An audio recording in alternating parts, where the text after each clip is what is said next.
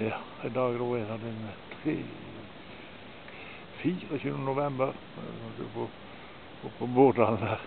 Og her har det vært en liten, lite, liten dunk. Postbilen kom oppover her mot Gjerald. Og en bil kom nedover og glatt som det var, så eh, Så eh, Har du begynt å stå? glatt som det var,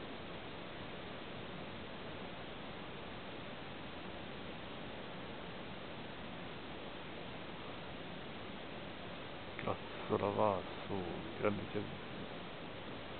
Som ikke greide å sta- stanse, så det dunka litt i sopa. Oi! Da, da ser du hvor glatt det er. Vil jeg på å skrive skademelding.